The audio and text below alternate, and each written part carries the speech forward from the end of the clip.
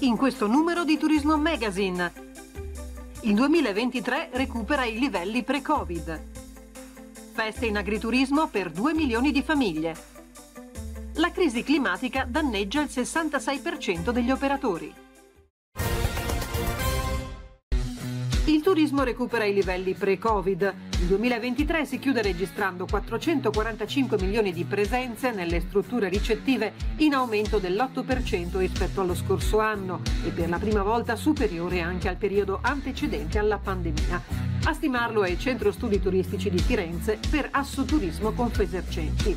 Il forte incremento degli stranieri, che trainano ancora la domanda, ha contribuito in modo determinante a compiere il sorpasso sul 2019. Le presenze estere segnano il più 13,7% sul 2022 e in valori assoluti si attestano a oltre 228 milioni. Più debole il rafforzamento del mercato italiano che segna un aumento del 2,8% sullo scorso anno.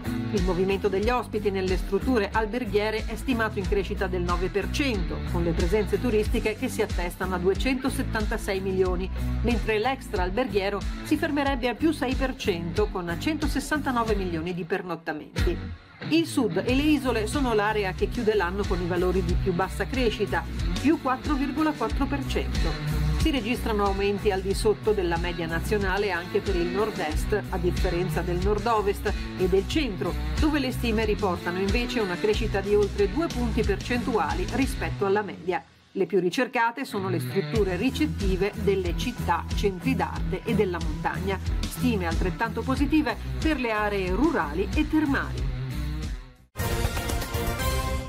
Tra Natale e l'Epifania, a tavola in fattoria, tra percorsi naturalistici e laboratori del gusto, oltre 2 milioni di famiglie confermano un trend che premia il legame con il territorio e le sue tradizioni culinarie. A rilevarlo è CIA Agricoltori Italiani insieme a Turismo Verde, la sua associazione per la promozione agrituristica. L'Italia dei 25.000 agriturismi, sottolineano CIA e Turismo Verde, resta molto frammentata lungo lo stivale, dove sono ancora evidenti gli effetti della crisi economica, tra costi alti di produzione e caro bollette, come le ripercussioni forti di emergenze climatiche, carenze infrastrutturali e marginalità importanti. Succede quindi che al nord più che al sud gli agriturismi optino per aperture più contenute e che non poche strutture con camere rimandino la ripresa direttamente a primavera dalla costa all'entroterra ad assicurare il sold out è la clientela fidelizzata, il turismo di prossimità e il ritorno nei paesi d'origine.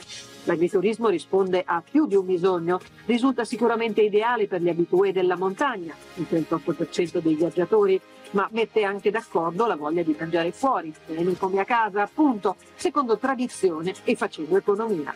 Immancabile la cucina regionale, i tortellini in brodo all'arrosto al forno con le patate, dai ragù bianchi e rossi per rigorosa pasta fresca a cotechino e zampone con le insostituibili lenticchie, tanti dolci e frutta secca accompagnati da vini e bollicine.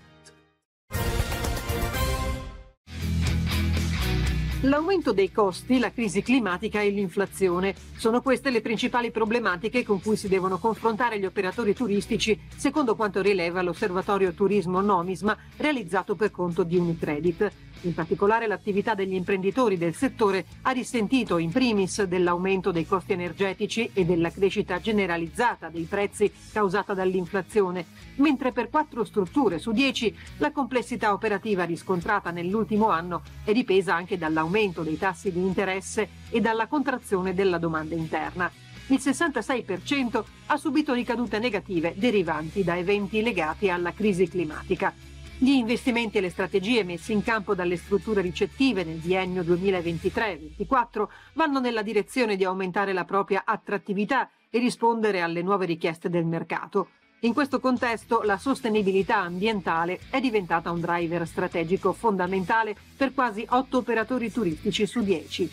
Questa nuova consapevolezza ha spinto le strutture ad adottare politiche e soluzioni sostenibili, riducendo l'impatto ambientale e incontrando la crescente domanda di turismo sostenibile. Molti operatori hanno già intrapreso iniziative in questa direzione. Il 72% degli intervistati ha fatto investimenti per la raccolta differenziata, la depurazione dell'acqua, la riduzione dei rifiuti e delle sostanze inquinanti. Il 70% si è attivato per ridurre gli sprechi alimentari, il 66% ha adottato azioni di risparmio idrico e nel 51% dei casi energetico.